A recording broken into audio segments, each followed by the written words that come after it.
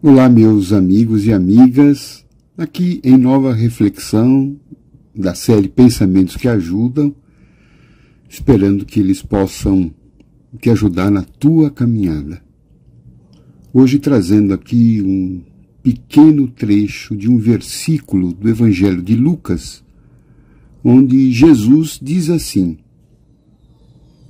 Importa, porém, caminhar hoje amanhã e no dia seguinte. Importa, porém, caminhar hoje, amanhã e no dia seguinte. Jesus traz nessas palavras uma orientação espiritual a todos nós. Se ele diz que importa caminhar hoje, amanhã e depois de amanhã, é porque Jesus certamente percebe, nota, conhece que nós muitas vezes, por variadas razões, deixamos de caminhar, deixamos de seguir adiante.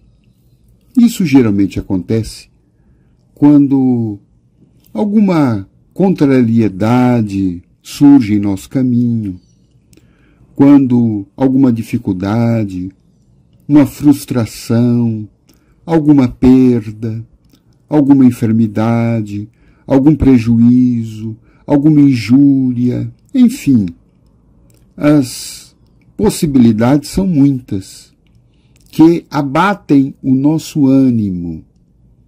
E a gente então fica desanimado, fica se perguntando que não há mais razão para continuar lutando, para continuar vivendo, para continuar tentando. Nós ficamos muitas vezes de espírito abatido, podendo, quando não, chegar até o ponto da depressão ou mesmo até do suicídio. Então, essa recomendação de Jesus, ela é muito oportuna para todos nós. E convém, seria bom se a gente pudesse dar uma olhadinha na nossa vida e examinar se a gente parou, se a gente não está estacionado, se a gente né, não está desanimado demasiadamente, há muito tempo que a gente já vem com esse estado de espírito. Porque é normal, quando surge algum problema, que a gente sinta uma certa contrariedade, um abatimento.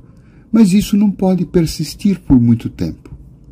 Nós devemos orar e vigiar para quando nos percebermos assim, caídos, abatidos, desanimados, enfraquecidos, parados, estacionados, por muito tempo. Isso é um problema grave para nós, porque a vida segue sempre em frente. O tempo não para. O tempo é a sucessão dos dias. A vida é eterna. Nós somos espíritos imortais. Então, tudo aquilo que a gente deixar de fazer quando se pode fazer. Isso só agrava o nosso caminho, isso só complica o nosso destino, isso só impede o nosso crescimento, a nossa evolução. Precisamos sempre pensar que a vida não é uma linha reta, onde a gente sempre acerta, onde as coisas sempre dão certo, onde tudo que a gente quer acontece no tempo que a gente quer onde todas as pessoas vão nos aplaudir. Não, isso é uma ilusão. Nós estamos num mundo de relatividade, num mundo de imperfeição, num mundo de pessoas imperfeitas, tanto quanto nós somos também imperfeitos. Por isto, é mais do que óbvio que coisas não darão certo, que muitas expectativas não se realizarão, que nós não conseguiremos atingir todas as metas. que as pessoas de alguma forma vão falhar conosco, que a vida nem sempre vai corresponder às nossas expectativas. Nós precisamos aprender a lidar com os nãos da vida. Porque se a gente para, se a gente trava, se a gente estaciona, ocorre um fenômeno como uma espécie de trombose espiritual. E aí então, tudo piora, nosso abatimento a cada dia cresce, nosso desânimo, nosso desinteresse pela vida, e nós vamos perdendo a ocasião da nossa própria evolução, do nosso crescimento. Nós vamos ficando cada vez mais longe dos nossos sonhos, dos nossos projetos, dos nossos anseios. A vida vai ficando cinza para nós.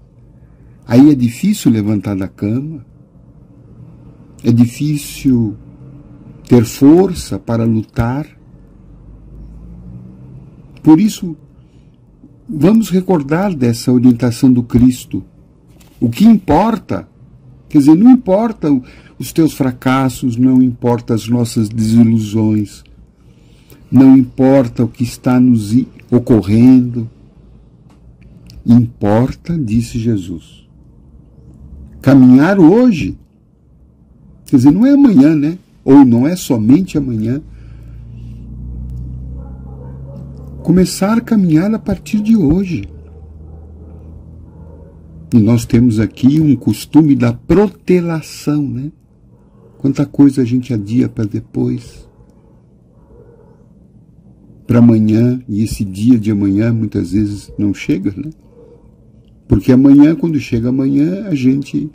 Não, é, é depois, é semana que vem, é mês que vem, é depois do carnaval, é depois da Páscoa, é depois disso, é depois daquilo. E a vida vai se tornando monótona, chata, por falta do que? De movimento nosso.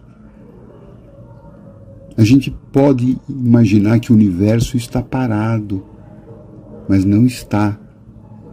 Os astrônomos dizem o universo está em movimento.